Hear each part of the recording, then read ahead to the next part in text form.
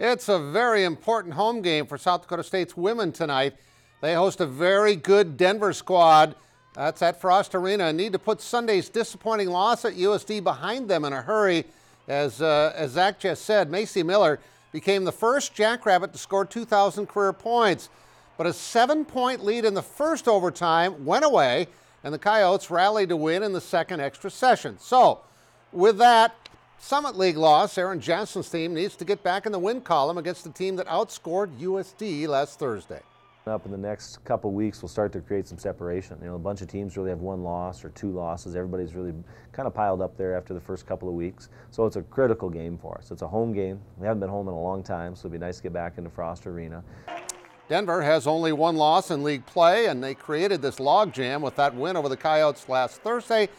The uh, Jackrabbits are 10 and 6 overall and need to start the uh, really need to start a win streak to keep hopes alive for two Summit League teams to make the big dance.